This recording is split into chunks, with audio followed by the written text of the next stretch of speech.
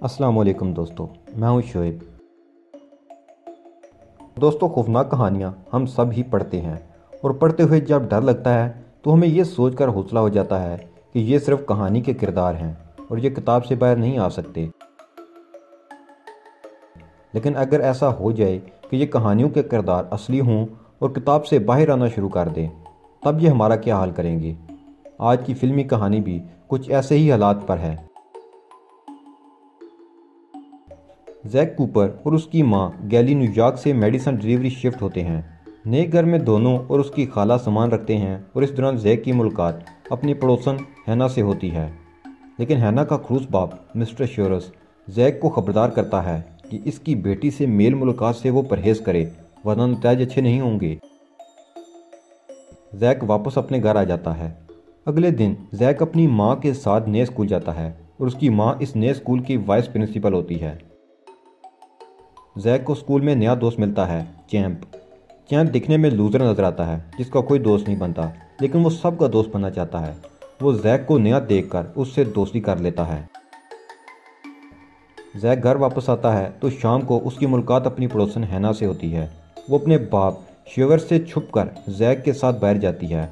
वो जैक को जंगल में दरख्तों के बीच एक ऐसे पार्क में लेकर जाती है, जो कई साल पहले बना था, लेकिन अब वीरान पड़ा था। वहाँ वो उसे बताती है कि वो और उसके डैड घर बदलते रहते हैं और वो कॉलेज भी नहीं जाती, वो घर ही पढ़ती है। वहाँ से वापस आने पर हैना के डैड जैक को फिर से वार्निंग देते हैं। फिर जैक अपने कमरे में बैठा होता है तो उसे हैना और उसके डैड के लड़ने की आवाज़ें आती हैं और फिर हैना की चीखें सुनाई देती हैं। वो भागता हुआ उसके घर जाता है, लेकिन हैना के डैड उसे वापस भेज देते हैं। जैक पुलिस को बुला कर लाता है, लेकिन हैना के डैड मिस्टर शेवर पुलिस को ये बावर कराने में कामयाब हो जाते हैं। कि हैना घर में नहीं, और वो सिर्फ़ टीवी देख रहा था, और ये उसकी आवाज़ थी। जैक जानता है कि हैना के डैड झूठ बोल रहे हैं, लेकिन पुलिस और उसकी माँ ये नहीं समझ पाते, इससे शिवर बच जाता है। लेकिन जैक हार नहीं मानता। अगली शाम जब उसकी माँ स्कूल डांस पार्टी में जा रही होती है तो वो घर ही रुकता है, और अपनी आंटी से झूठ बोलकर बाहर आ जाता है। उसका दोस्त चैम्प भी आ जाता है। दोनों मिलकर हैना के घर जाते हैं। हैना के डैड को जैक एक झूठी कॉल करके पुलिस स्टेशन बुला लेता है। ताकि वो उसके घर हैना को ढूंढ सके। वो घर में दाखिल होते हैं तो हर जगह जाल बिछे होते हैं। वो फिर भी घर दाखिल हो जाते हैं। हैना कहीं दिखाई नहीं देती।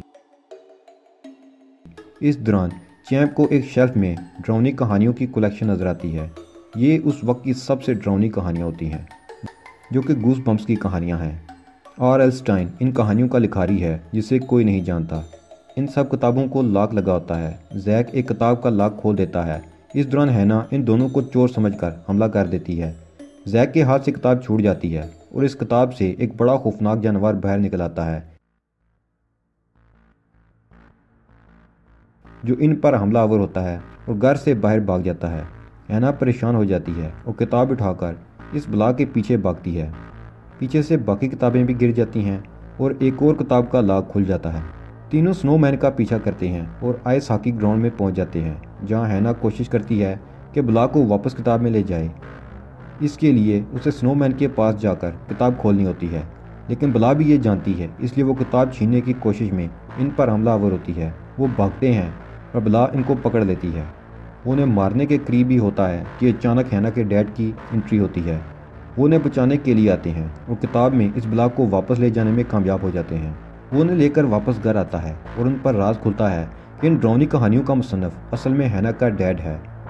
हैना का डैड असल कहानी बताता है कि जब वो बच्चा था तो उसे एलर्जी थी। सब बच्चे उसे तंग करते थे। उसका कोई भी दोस्त नहीं था। इसलिए उसने ख्याली दोस्त बना लिए और वह सब के सब ड्रोने किरदार थे। उसने उन्हें लिखना शुरू किया तो वो असली बन गए और किताब से कहानियों से बाहर आ गए। अपनी कहानी सुनाते हुए मिस्टर शेवर यानी आर एल स्टाइन देखता है कि एक और किताब खुली हुई फर्श पर पड़ी है और इस कहानी का किरदार स्लैपी बाहर आ चुका होता है। वो स्टाइन को पप्पा कहकर बुलाता है। तुमको देखने के लिए मेरी आँखें तरस गई पप्पा। यह स्टाइन का अब तक का सबसे खतरनाक ड्राउना किरदार होता है जिसका काम शहर को बर्बाद करना होता है वो जिस किताब से निकला होता है उसको भी जला देता है ताकि स्टाइन उसे वापस ना ले जाए वो बाकी किताबों को भी उठाता है। और सब किताबों के किरदारों को बाहर निकाल कर किताबें जला देता है। अब उसका मिशन शहर को बर्बाद करना होता है और उसकी फ़ौज होती है, स्टाइन की ड्राउनी कहानियों के सारे के सारे खौफनाक किरदार। ये सब स्लैपी का हुक्म मानते हैं और शहर में अफरा तफरी फैलाना शुरू कर देते हैं। सब लोग डर के मारे भाग रहे होते हैं और छुप रहे होते हैं। पुलिस को भी स्लैपी बर्फ़ का बना देता है और फिर सारे शहर के लोगों को भी। इसलिए अब उस छोटे से शहर को बचाने वाला कोई भी नहीं है। जैक स्टाइन को आइडिया देता है कि वो एक और कहानी लिखे और इन किरदारों को वापस इस नई लिखी किताब में डाल दे। स्टाइन का कहना है कि ये आसान काम नहीं, इसके लिए इसको कहानी सोचनी पड़ेगी और फिर इस कहानी को एक मखसूस टाइपराइटर पर ही लिखना होगा। और वो टाइपराइटर स्कूल में है, जहाँ इस वक्त पार्टी चल रही है। अब वो स्कूल की तरफ़ चल पड़ते हैं, लेकिन रास्ते में बलाएँ बड़ी मक्खियाँ वेयर वुल्स जोम्बीज और इस तरह की खौफनाक बलाएँ, उन पर हमलावर होती हैं, जिनसे बचकर उन्हें वहाँ पहुँचना है। ये एक बहुत बड़ा चैलेंज है। वो स्कूल पहुँचते हैं तो जैक स्टाइन से पूछता है कि क्या हैना जानती है कि वो असली इंसान नहीं, बल्कि कहानी का किरदार है। स्टैन परेशान हो जाता है कि वो कैसे ये हकीकत जान गया, लेकिन राज खुल चुका था। हैना टाइपराइटर ढूंढ लेती है और उनको बुलाती है। स्टैन कहानी लिखने बैठ जाता है। बाहर स्लैपी सारे मॉन्स्टर्स को इकट्ठा करता है और स्कूल पर दावा बोल देता है। स्कूल का स्टाफ और बच्चे अपने बचाव के लिए स्कूल के दाखिली दरवाजे बंद कर देते हैं, लेकिन वो फिर भी स्कूल के अंदर दाखिल हो जाते हैं।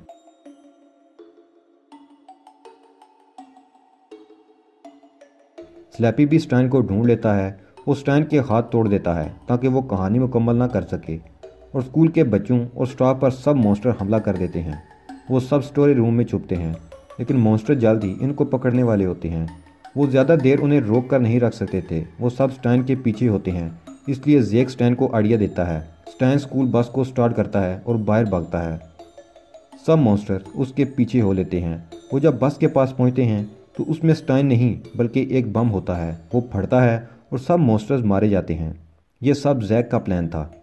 और सारे बच्चे दूसरी गाड़ी में स्कूल से बाहर महफूज आ जाते हैं।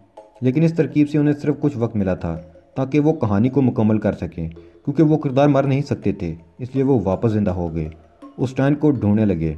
स्टैन फन हाउस में छुप कर जैक से कहानी लिखवाने लगा, क्योंकि उसके हाथ टूट चुके थे। वो खुद नहीं टाइप कर सकता था। लेकिन स्टाइन उन्हें ढूंढ लेता है और एक और मोस्टर को किताब से बाहर निकालता है, जो जली की तरह का होता है, जो चीज़ उसे छुए, वो उसे खा जाता है। वो सब भागते हैं और स्टाइन जैक को कहानी मुकम्मल करने का कहता है। मॉन्स्टर स्टैन को निकलना शुरू कर देता है और बाकी मॉन्स्टर जैक की तरफ़ बढ़ते हैं। वो हमला करते हैं, लेकिन जैक किताब को मुकम्मल कर लेता है। जैक जानता है कि अगर अब किताब खोली तो हैना भी वापस किताब में चली जाएगी और हैना भी ये हकीकत जानती होती है वो जैक को मनाती है, पर वो नहीं मानता। मजबूरन हैना किताब छीनती है और खोल देती है। किताब खुलते ही सारे मॉन्स्टर्स किताब में वापस जाना शुरू कर देते हैं और हैना भी किताब में वापस चली जाती है। जैक ये देखकर बहुत दुखी हो जाता है और स्टाइन भी। लेकिन हकीकत का सामना तो एक दिन करना ही था। सब लोग फिर से नॉर्मल ज़िंदगी शुरू कर देते हैं। स्कूल शुरू हो जाता है। जैक की खाला स्टैन को पसंद करने लगती है। और जैक भी स्कूल जाना शुरू कर देता है। जैक और स्टाइन हैना को बहुत मिस करते हैं। इसलिए स्टाइन एक और किताब लिखता है और हैना को वापस ले आता है। जैक ये देखकर नहायत खुश हो जाता है। उसे उसकी दोस्त वापस मिल गई थी। स्टैन बहुत खुश होता है कि सब नॉर्मल हो गया। वो स्कूल में टहलते हुए टाइपराइटर के पास आता है। तो देखता है कि टाइपराइटर पर खुद ब खुद कुछ लिखने हो रहा है। वो इनविजिबल बॉय होता है, जिसे वो भूल ही जाते हैं और वो अब नई किताब लिखकर सब मॉन्स्टर्स को वापस बुलाने वाला होता है। यानी कहानी ख़त्म नहीं हुई, बल्कि नई कहानी शुरू हो जाती है।